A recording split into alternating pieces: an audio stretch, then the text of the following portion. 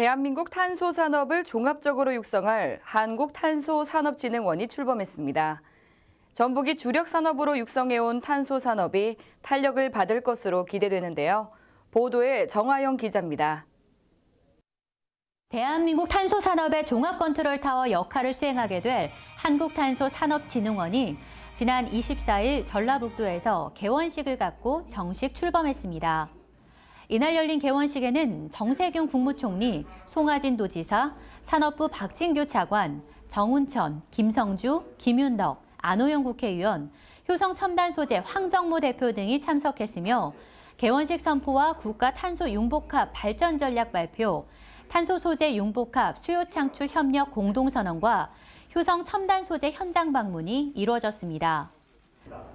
사랑하는 전북 도민 여러분, 성공은 꿈꾸는 자의 미래입니다. 저는 전북의 꿈이 반드시 실현되리라 믿습니다.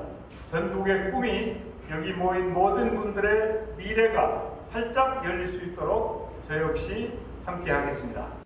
산업부는 2030년까지 탄소 소재 융복합 산업 3대 강국 실현을 목표로 발전 전략을 발표했으며 2030년까지 탄소 소재 융복합 기업 1,600개사, 강소기업 25개사, 소재 및 부품 10개 자립화, 매출 10조, 수출 3조, 신규 고용 창출 2,000명을 목표로 추진한다고 밝혔습니다.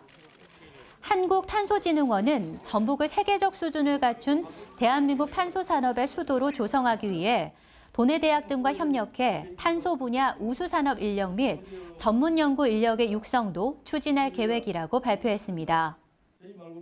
기초자치단체에서 시작했던 이 탄소 산업이 드디어 국가 산업화 돼서 이제는 전주 전라북도의 산업이 아니고 대한민국의 소부장 산업이 됐다. 저는 이렇게 자랑스럽게 말씀드릴 수 있을 것 같습니다. 앞으로 전라북도가 탄소 산업의 메카가 되어 우리 대한민국을 탄소 소재 융복합 산업 3대 강국으로 도약시킬 것으로 기대합니다. 지금까지 복지TV 전북방송 정하영이었습니다.